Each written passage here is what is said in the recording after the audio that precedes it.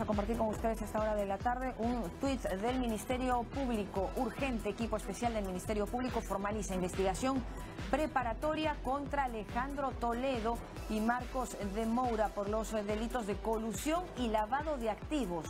La investigación corresponde al caso Interoceánica del tramo 4 ejecutado por Camargo Correa. Vamos a reiterar esta información hace tan solo unos minutos. Tuit del Ministerio Público que da cuenta de lo siguiente. Equipo especial del Ministerio Público formaliza investigación preparatoria contra Alejandro Toledo y Marcos de Moura por los delitos de colusión y lavado de activos.